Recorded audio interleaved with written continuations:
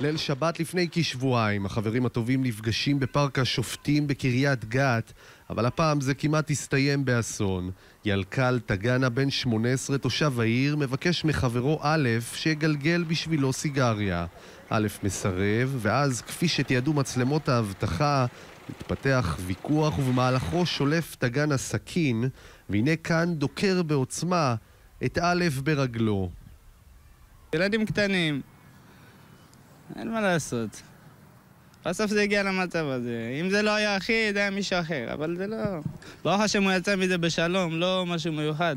א' עוזב את החבורה, פצוע ונאנק מכאבים. הפרמדיקים של מד"א שמגיעים לכאן לפארק השופטים בקריית גת מוצאים את א' שרוע על הדשא, פצוע ומדמם בצורה מסיבית ומפנים אותו במצב קשה לבית החולים ברזילי באשקלון. הגענו למקום, אה, מצאנו פצוע יושב, יושב במדרגות עם פצע חודר, חודר בר... ב... בר... ב... בירך שמאלי. אה, טיפ... טיפלנו בו, עצרנו דימום הכל ופינינו אותו לבית החולים. זמן קצר לאחר מכן הצליחו שוטרי מחלק הנוער מתחנת קריית גת של מרחב לכיש לתפוס את הדוקר ילקל טגנה. עורך הדין ישי נגר, שמייצג מטעם הסנגוריה הציבורית את טגנה, מסר בתגובה.